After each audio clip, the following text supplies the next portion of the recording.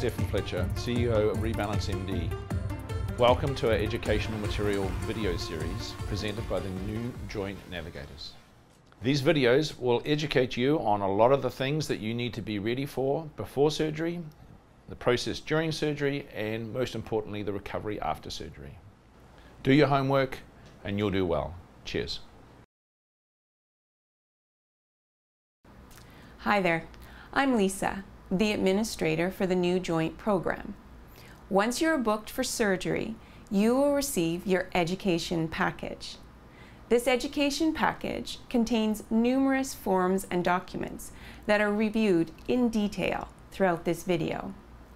These forms are labeled A to H to help you locate and organize them.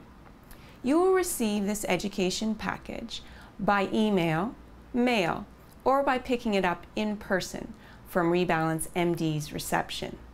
The new joint program will contact you to organize this. If you are watching this video prior to receiving your surgery date, good for you.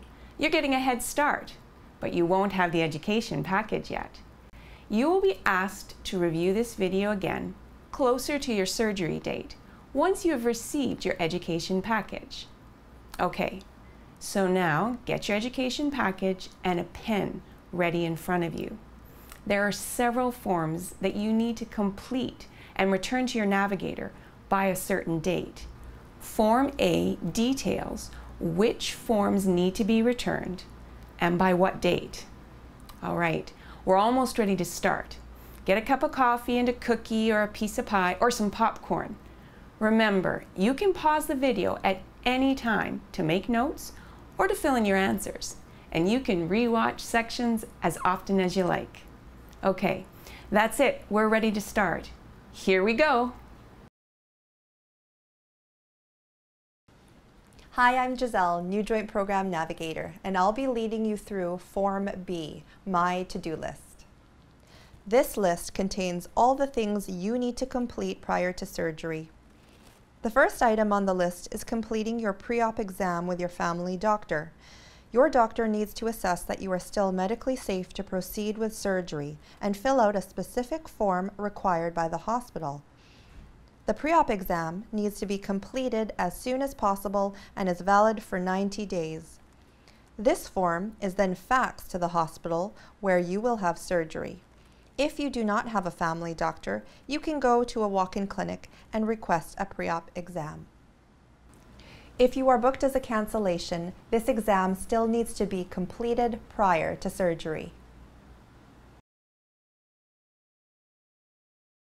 Next on the list is completing your pre-op tests. The requisitions for these tests are included in your education package. These include an x-ray of your joint and chest and will specify which hospital you can go to, an ECG of the heart, and blood work. A urine test may also be required. The new joint program reviews any recent tests done at a hospital that you may have completed within three months of your surgery date.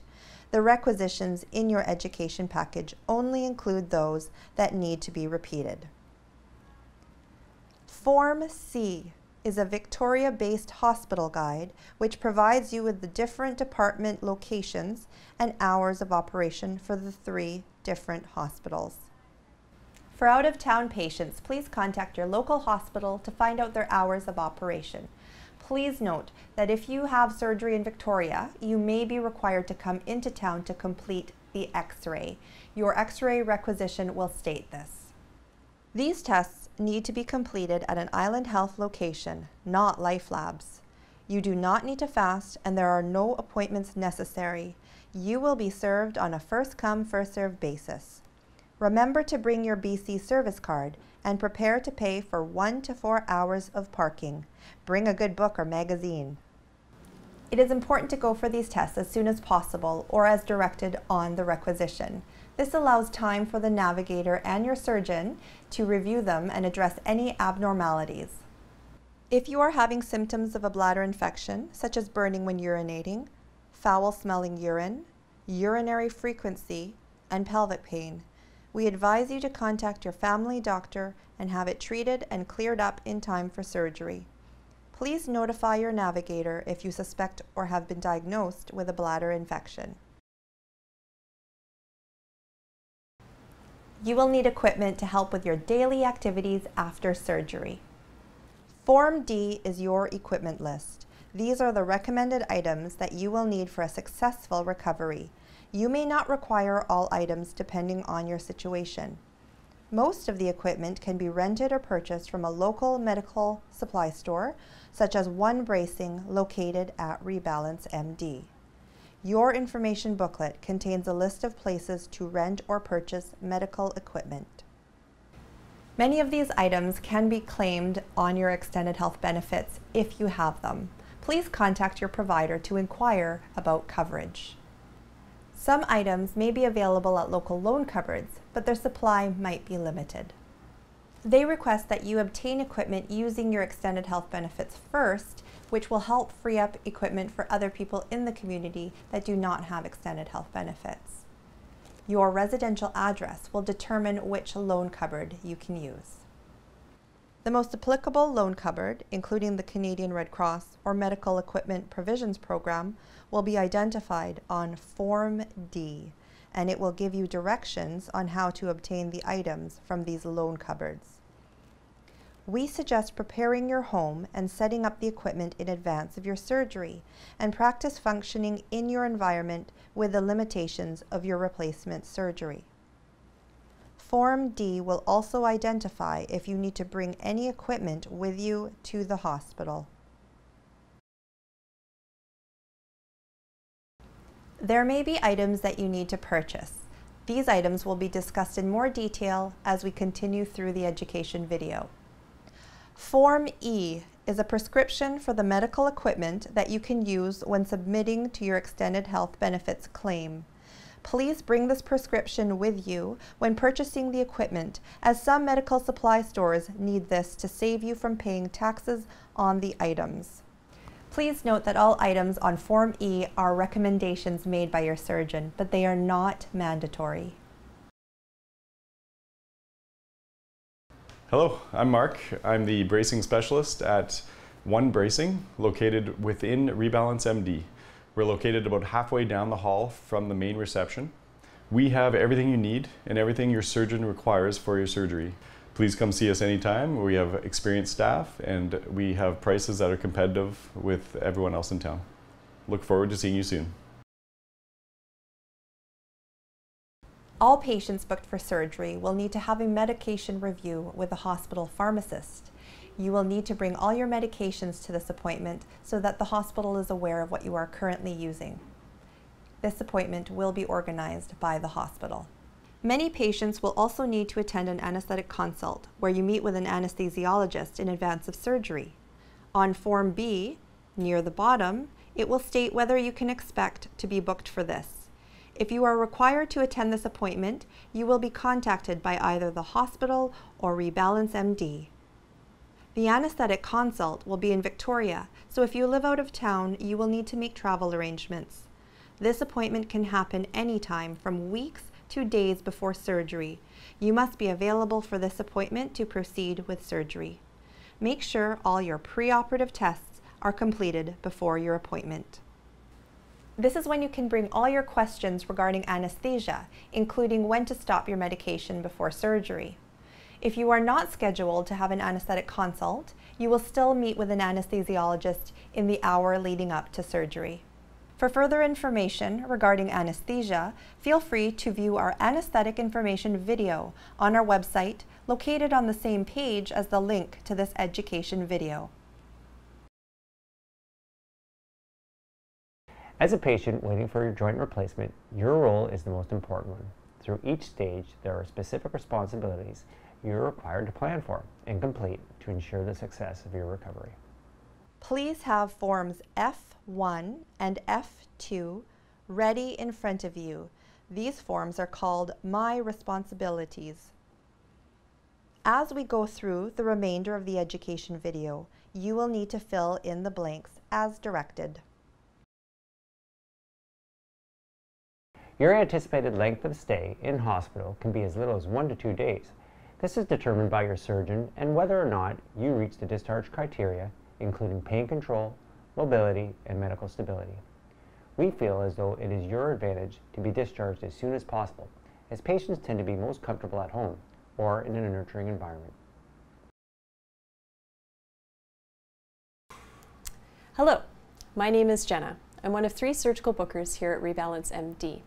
Shortly after you receive your surgical date, you will receive your surgical confirmation letter. This will come to you by way of mail or email. Please read this letter thoroughly as soon as you receive it. One week prior to your surgery, you will receive your surgical arrival time.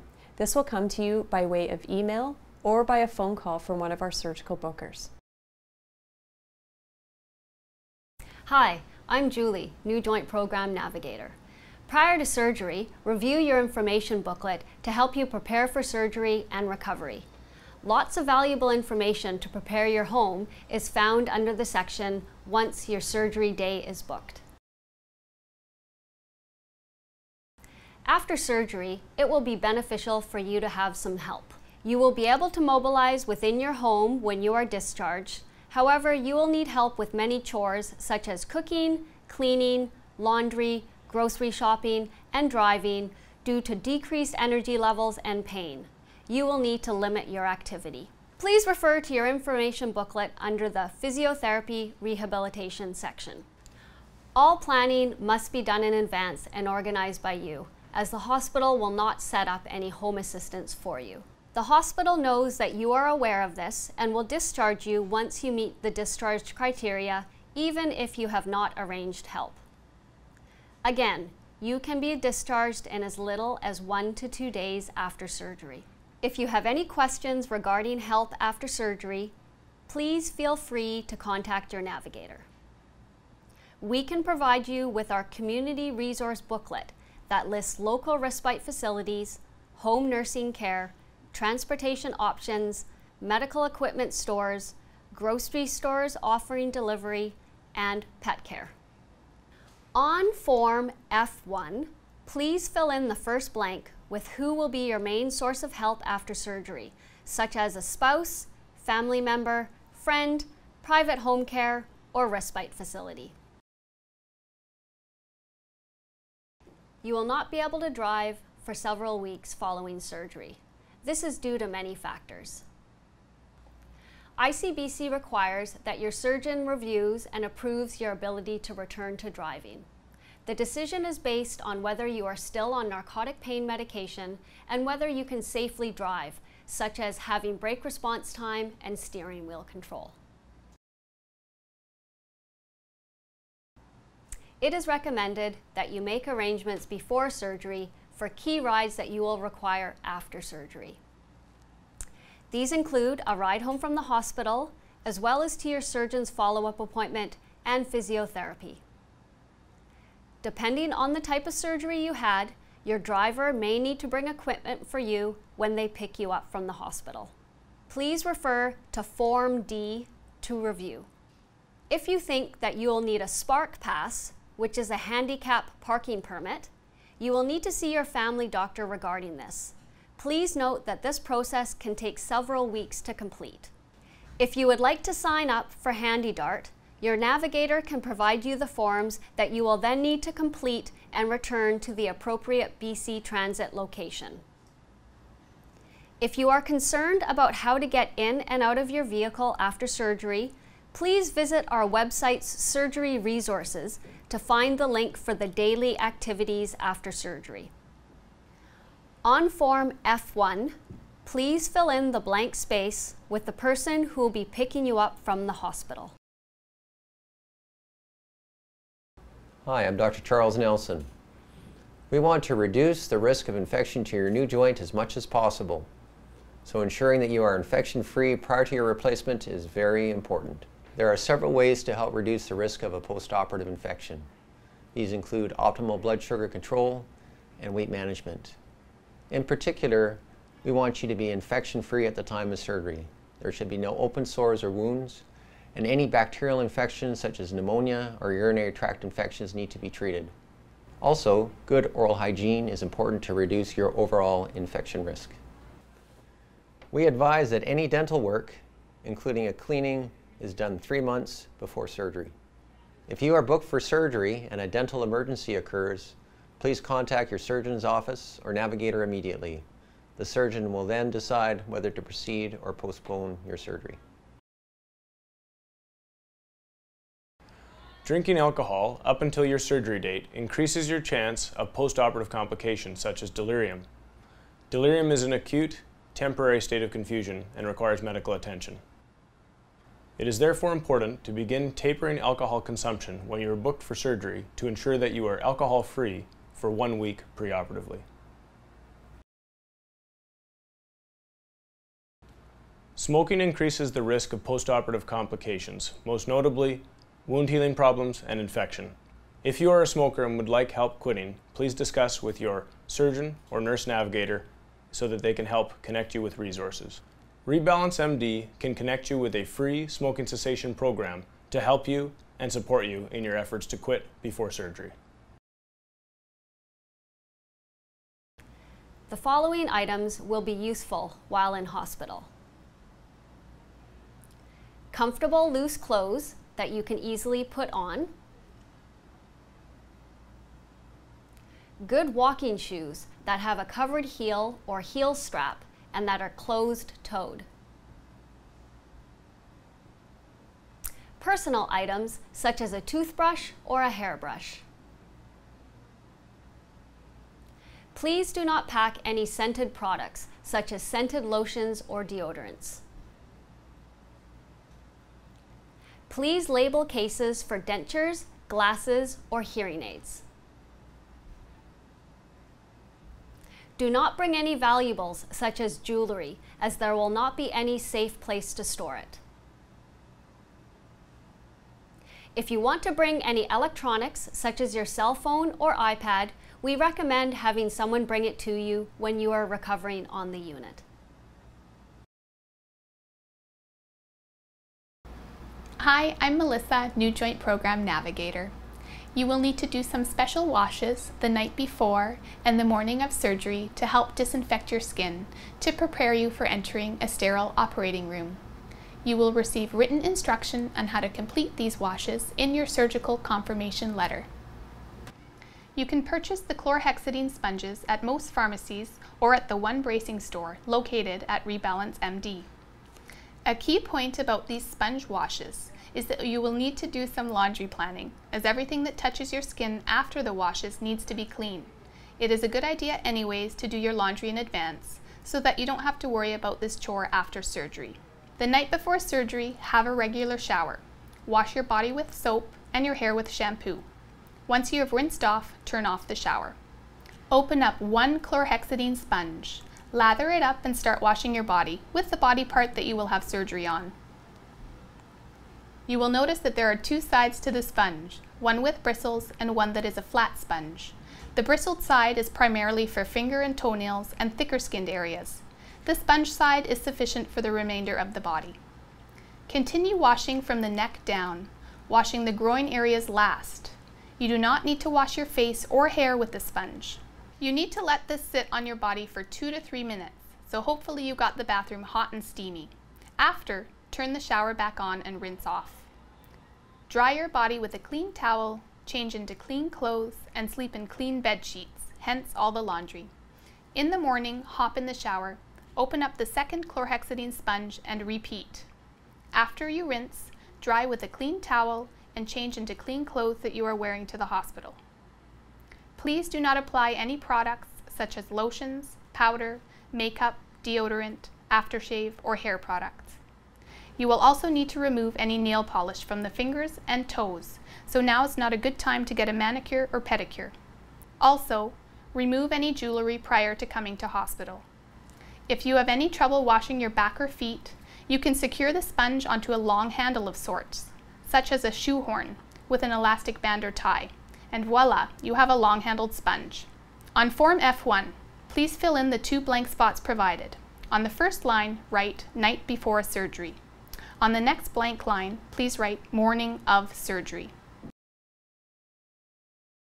Hi, I'm Dr. Stone. Hip osteoarthritis is a degenerative condition whereby the joint surfaces of the hip are worn away. This results in pain and loss of function. Hip osteoarthritis is generally irreversible, and depending on the severity and how much it's impacting your life, a hip replacement can be a good option. Hip replacement surgery involves a surgical incision over the prominence of your hip. Various approaches are used then to get to the actual hip joint itself. Your surgeon will choose the most appropriate approach for you. The surgery itself involves removing the femoral head and neck and inserting a stem into your proximal femur and then placing a cup on the socket side. The bearing surface will vary depending on certain characteristics. Most likely it will be ceramic on a polyethylene bearing surface. When you arrive at the hospital, you will check in at patient admitting with your care card. They will guide you from there. You will see your surgeon and the anesthesiologist right before your surgery. Once your surgery is complete, you will wake up in the recovery room until your pain is under control and you are no longer drowsy. For more information, please review your information booklet under the Day of Surgery section. During your hospital stay and shortly after surgery, you will not be moving as much, which can cause a buildup of congestion to sit in the bottom of your lungs. If this congestion is not cleared, it can lead to lung complications such as pneumonia. On Form F1, please fill in the next blank space with lung complications. To help clear your lungs, it is recommended that you take 10 deep breaths every hour that you are awake. Deep breathing allows air to get to the bottom of the lungs, moving and clearing the congestion. Periodic coughing after taking a deep breath also helps clear the congestion. Not only does deep breathing and coughing help your lungs recover, but it can also help with pain control and anxiety. It is important to pump your ankles up and down while in hospital at least 10 times every hour you are awake. This action helps reduce the risk of developing a blood clot in your calf. Continue doing this when you are recovering at home for the first several weeks until you are more mobile. If you are having an ankle replacement, you will not be able to do this with your operative leg. However, it's a good idea to do this with your non-operative leg, as you will be lying in bed most of the time. On Form F1, please write blood clots in the blank space provided. Every patient will be prescribed a blood thinner after their surgery, and this is to help reduce the risk of developing a blood clot in your legs or your lungs. Therefore, it is important for you to take your blood thinner after surgery. Please take this medication for as long as your surgeon has prescribed. Aspirin is commonly used as a blood thinner after joint replacement. It is important to identify this as a blood thinner so that you remember to take it as prescribed and not stop when you no longer have pain. There are a few other blood thinner medications that you may be prescribed, including one that is administered as a self-injection the nurse in the hospital will teach you how to administer it and how often. An injection technique guide will also be provided by the nurse for referencing when you are at home. Please be aware that paying for this prescription can be expensive depending on what you are prescribed. Make sure you are aware which medication is your blood thinner. There are different types of blood thinners that your surgeon may prescribe, and the choice of blood thinner will depend upon medical history, surgeon preference, weight, and or the presence of a previous blood clot in your legs or your lungs. An intermittent limb compression device helps reduce the risk of blood clots and decrease lower leg swelling. Apply the compression sleeves to both calves as demonstrated. Follow the manufacturer's instructions as to how to turn it on and off. It will intermittently inflate starting from the ankle and work its way upward to prevent blood and fluid pooling in the ankle and calf. The device runs on a charged battery and can last six to eight hours. You will need to attach the compression device's battery to an electrical outlet. You do not need to bring this to the hospital. You can start using it once you are discharged home.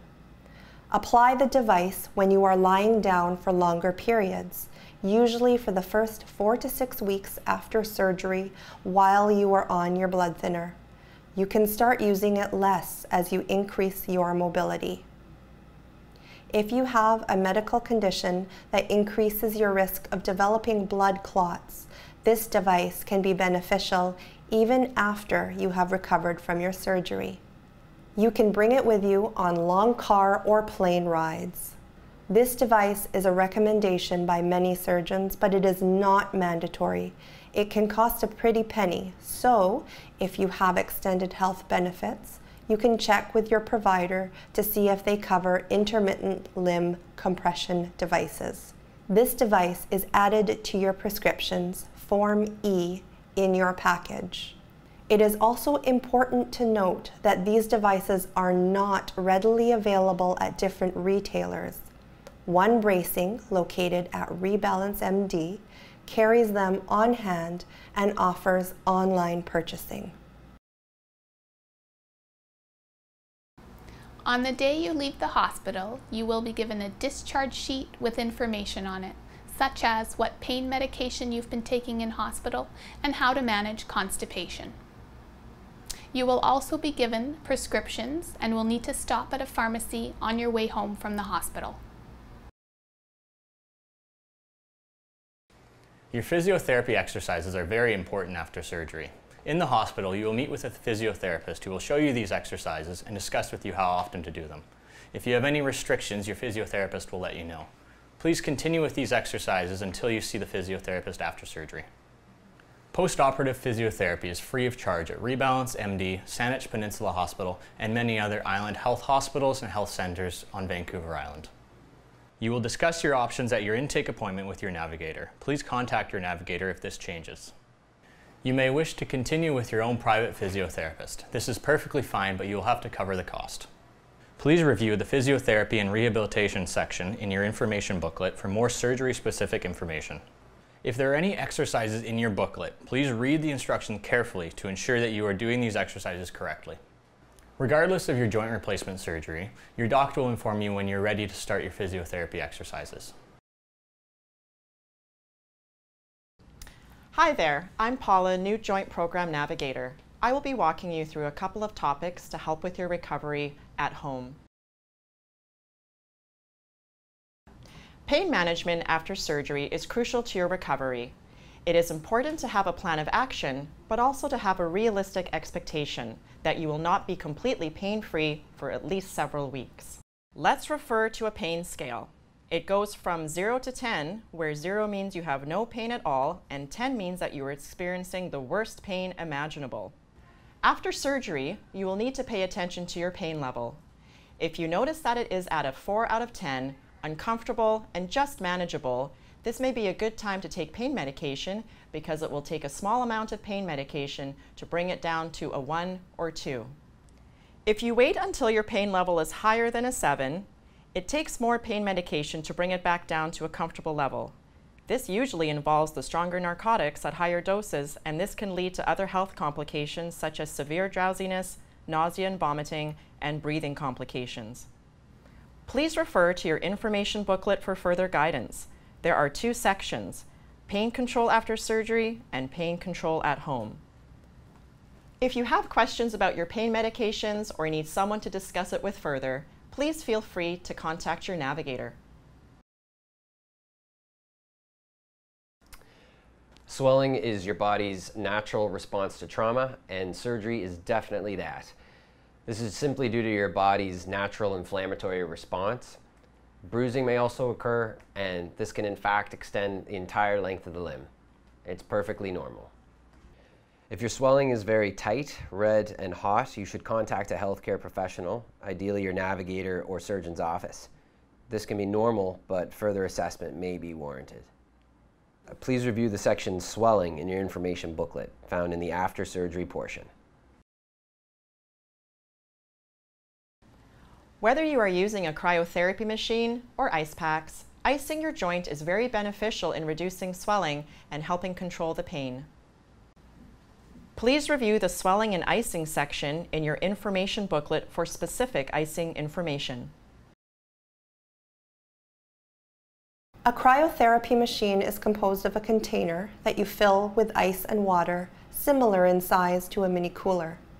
It is connected to a tube that pumps the cold water into a thin pad that is secured to your joint. You will need a lot of crushed ice, or you can freeze recycled yogurt or margarine containers, creating a big chunk of ice that takes longer to melt. To avoid injury, never apply the pad directly to your skin. Always have a barrier, such as a thin towel or your clothing. Also keep the pad off for at least two hours before you reapply it. We recommend familiarizing yourself with the machine before surgery. Most manufacturers have instructions provided with the cryotherapy machine or on their website. Cryotherapy machines have a great reputation for post-operative icing as they cover a larger surface and can be convenient to use with an easy on-off switch and adjustable temperature. Also, you don't have to make as many trips to the freezer as it only needs to be replenished every eight hours. Check with your extended health benefit provider to see if they cover cryotherapy machines. This item has been added to your prescriptions, Form E. Form G in your education package is your dressing guide. This form is specific to your surgeon's preference on how to manage your dressing until you see him for your follow-up appointment. Please read this thoroughly, pausing the video if you would like to do so.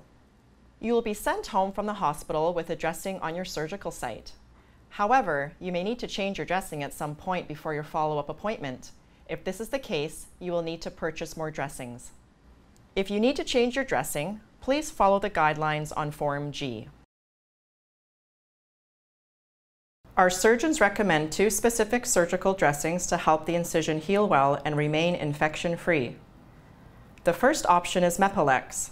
This is a waterproof dressing with a thick absorbable pad that soaks up a fair amount of drainage. The second option is Aquacel AG. This dressing is also waterproof and has a highly absorbable pad. The difference between this dressing and the Mepilex is silver. Aquacel AG has silver woven into the absorbent pad. Silver is a natural antimicrobial to increase healing and prevent bacterial growth. Again, refer to Form G to identify what dressings your surgeon recommends and how many you will need. These two dressings are available at One Bracing located at Rebalance MD. They are not commonly supplied at most pharmacies as they are a specialty product. These dressings cost anywhere between 20 to $60 per dressing and may be covered by extended health benefits. These dressings are not mandatory, but they have shown good results for incision healing.